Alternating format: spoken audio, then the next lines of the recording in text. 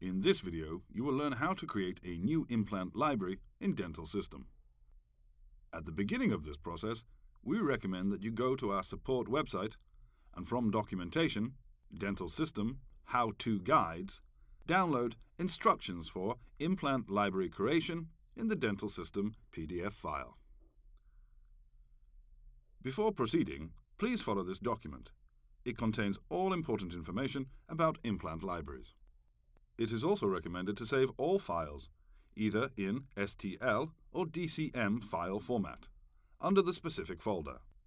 To do so, go to Drive C, 3Shape Configuration, Dental System, Dental System Control Panel, Library, 3Shape, Abutments, Implant Systems, create a new folder, and copy all new libraries into it.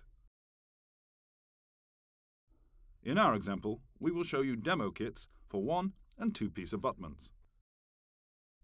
With our 3Shape Shape Designer application, which is also available on our support website, check if the parts for a new library are correct, according to the PDF instructions. If everything is OK, start creating your implant libraries. Go to Dental System Control Panel. Then abutments, and implant systems. Let's start from creating a one-piece abutment. Press Add to add a new implant system. Enter the unique ID, the name for the new system and a version number. It is recommended here to avoid using the space button.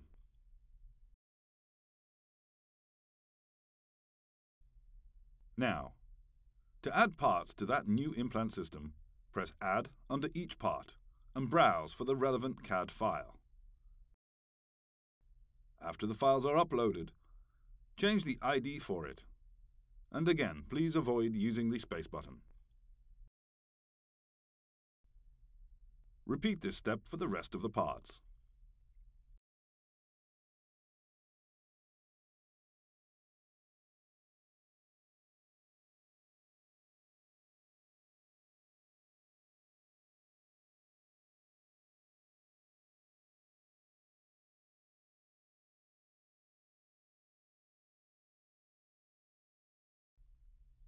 Once the files have been imported, you can proceed to the next step and add a new implant system category. Type in the name, click OK, and then click on Add Current System.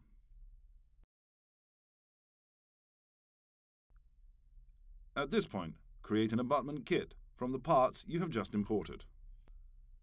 Click Add this will bring up the wizard, which will guide you through the part selection. The first page of the abutment kit wizard contains a few specific options.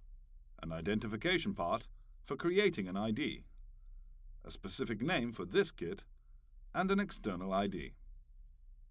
Next, you have the 3Shape Global Coordinate System. If you are considering that your implant library will be used with third-party scan abutments, and also want it to be supported then enable this option. Next, you have the abutment export options. Here you can enable the Use Implant Coordinates option. If checked, the final abutment geometry is stored in the common coordinate system of the implant system parts.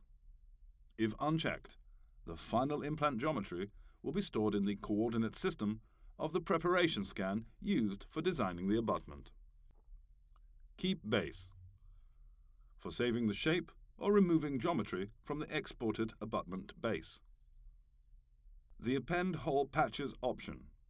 If checked, the screw hole is closed in the exported geometry, allowing use of milling blanks with the pre-drilled screw holes.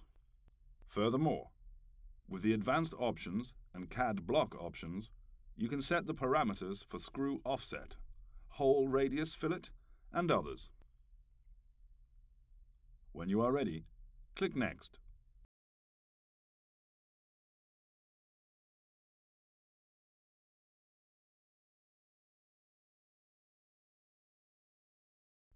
At this point, you can choose materials for this abutment kit After that, click Next. At the end of the wizard, you can specify the limitations for that abutment kit. For example, if the Perform Blank Validation option is selected, then you won't be able to violate the design constraints given by the blank file.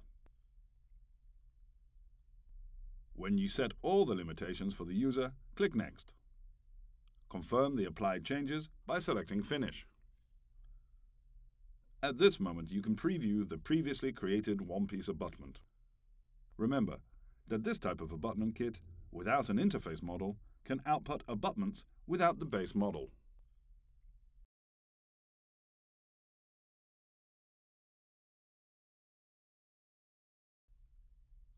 So let's start creating a two-piece abutment. The difference between one-piece abutment and a two-piece abutment is basically in the form of the base model. Also, a two-piece abutment contains the abutment interface model.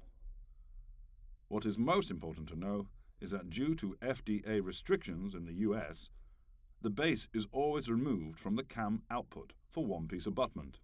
Only for a two-piece abutment is a base file allowed to be outputted in the CAM output.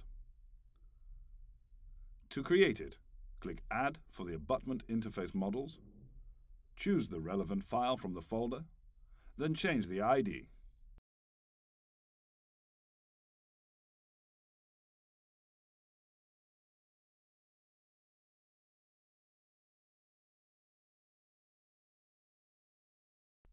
Do the same for the base. Click Add.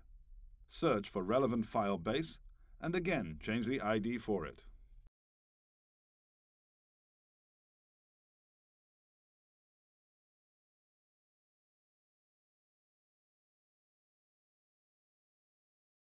Now it's time to create a two-piece abutment kit.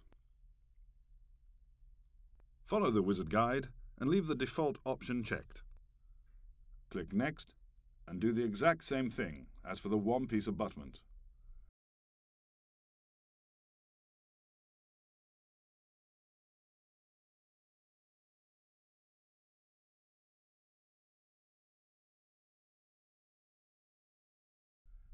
At the end, click Finish to save the changes. Now you can preview the second abutment kit.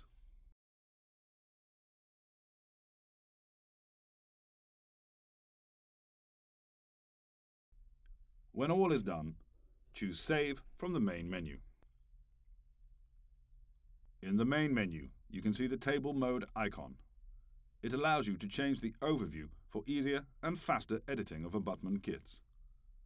Double-click to activate the chosen field and implement changes.